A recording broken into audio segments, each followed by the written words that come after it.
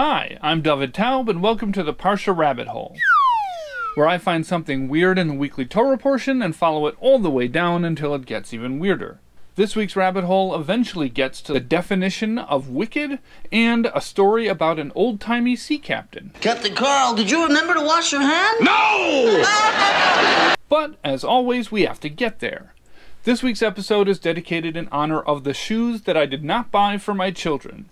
If you'd like to sponsor an episode of the Parsha Rabbit Hole, go to creativejudaism.com slash donate. Okay, let's get started. This week's Torah portion, Parsha Tzav, is all about sacrifices again.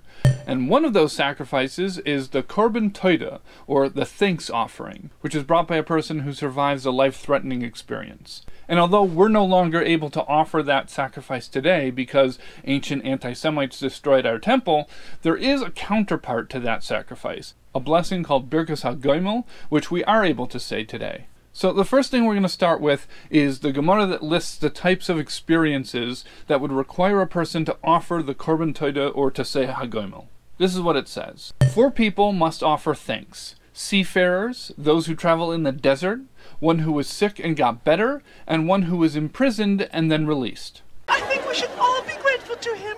So there's a lot of technical halachic discussion about how broad of a category each one of these things represents and exactly what type of situations require a person to say this bracha.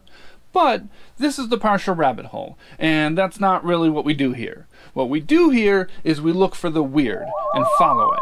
And that specific list of life threatening situations seafarers, desert travelers, sick people, and imprisoned people seem like an interesting place to start digging.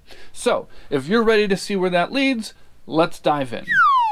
Okay, first of all, that list is derived from verses in Kapitel Kuf Zayin of Tehillim, or Psalms 107. But when the Gemara lists those four types of experiences, it does it in a different order than they appear in the verses of Tehillim.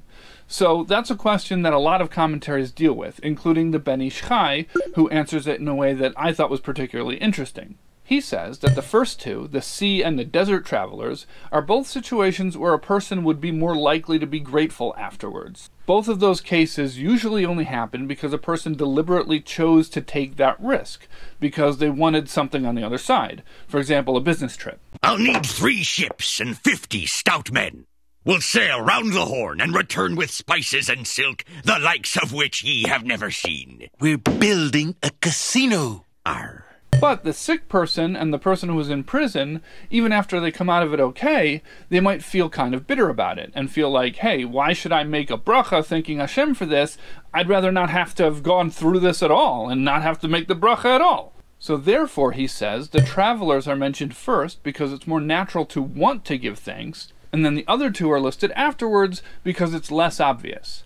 So the reason why I like this is because I do feel like that sometimes. Thank God not for anything real, but for silly petty stuff. So it was fun for me to see my pettiness acknowledged as human nature, and then be told that I still have to be grateful.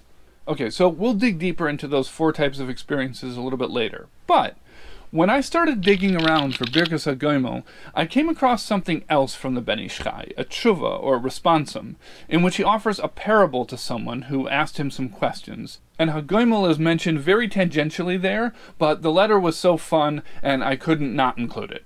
So someone asked him some questions about Kabbalah, and he says he's unable to answer those questions because he's not an expert in the subject, which, by the way, I think most people would disagree with that assessment. But he says, in lieu of answering the guy's questions, he'll fill this letter with open rebuke. He goes on and mentions that the guy in his original letter to him very proudly informed him that he had learned a certain Kabbalistic text five times, and he wanted to know if now he should start gathering students and teaching them this text. And the Ben Ish Chai is very harsh about that. And then he offers this parable. It's very long, so I'm not going to put it on screen, but I'll tell it to you a little bit condensed in my own words. There was once a man who lived in the islands of Portugal and he was the captain of the king's entire naval fleet. He had a wife and a young son who lived in France, and he hardly saw them, and so he asked the king one day when he got old and he hadn't seen his wife and son for a long time if he could go visit them. So when he was there, he told his wife that when he retires, he wants his son to take over for him. In order to do that, he has to take their son back with him and train him for many years. So then the wife weeps and cries and says that she can't bear to have her son taken away from her, but that she also wants her son to take over as the captain. And so she asks her husband if maybe he could train the boy while he was still there without taking him away from her. And the captain agreed. So he got a bowl full of water, and he put the young boy on his lap, and he said, See, my son, this is the great sea. And then he floated an eggshell in the water, and got a needle and stuck it in the middle of the eggshell, and said, See, my dear son, this is the ship, and then this is the mast. And then he got three smaller needles and stuck those in the eggshell and said that those are the other masts, but that the big one is the main mast. And then he peeled off the membrane of the eggshell and tore it into twelve pieces and attached it to the needles and said, These are the sails that catch the wind and make the ship move. And then he took some hairs and attached them to the needles and to the egg membrane and said, These are the ropes that the sailors use to control the sails. Then he took two hairs and twisted them together into like a thick hair rope and said, This is the anchor cable that the ship is tied to at port and this rope is to sailors what Birkas HaGoimel is to the Jews. I just want to note before I continue that this is the only mention of HaGoimel in this whole story, and that's my entire excuse for including it. Also, I'd like to mention that in the original Hebrew, this whole story rhymes, so I'm not doing that justice at all, but I still think it's worth it to hear the story. Okay, let's continue. So then he takes a piece of wax and he molds it into an anchor and attaches it to the anchor cable hairs. And then he takes some more wax and sculpts little rooms and puts them on the eggshell ship. And then he makes one room and puts it at the front of the ship. And he says, This is the captain's quarters where you'll live. And then he dropped a spoon in the water, and the water splashed the egg ship around, and the center needle fell out. And the captain said, A storm has come, and the main mast has broken. So now you have to repair it with spare parts that you keep on the ship. Then he took the spoon out of the water, and the water calmed down, and he said, Now the storm has passed, my son, and the sailors have gone to sleep. And he hugged and kissed his son good night, and handed him back to his wife. And then he told her, Be happy, my noble wife, your son is now wise, and is ready to be called captain.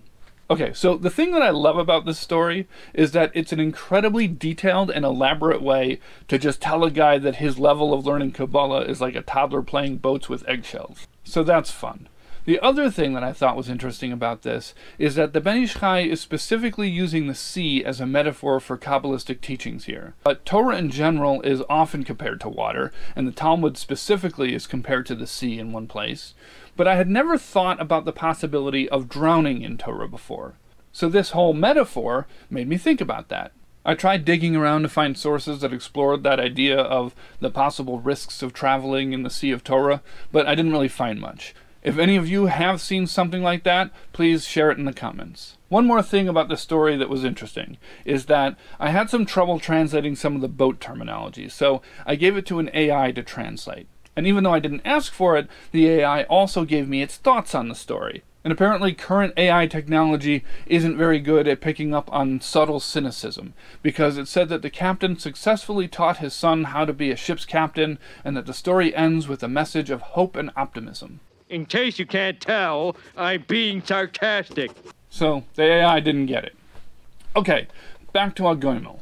After I was done looking at the commentaries on that Gemara that gave us the list of those four types of experiences, and after I got back from my little side excursion to the islands of Portugal, I searched for this phrase, Arba tzrichen lahodos. Four people need to offer thanks, to see if I could find anything interesting about these four experiences in particular, and why these are the archetypes that the Torah gives us. And I found a Rashima from the Lubavitcher Rebbe that kind of maps out these four things and presents them as creating a kind of geographical map of life life threatening situations. He says that these four things represent various divisions between human beings and their environment, and divisions within the environment itself. The sick person is when the threat is coming from within the person themselves. Prison is when the threat is external, from society, the people around them. Then we zoom out even more, and the threat becomes the earth itself, without any people. That's the desert.